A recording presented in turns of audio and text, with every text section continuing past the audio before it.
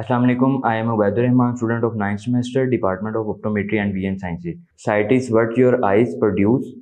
Vision is what your heart produce. Never let you see affect your vision. I am here share to my university life experience. The most important things I learned from university life is self motivation, time management, teamwork, and uh, communication. The motive of our degree say vision. So as an optometrist, my vision is to improve your vision. Admission for fall 2022 are open. Thank you so much.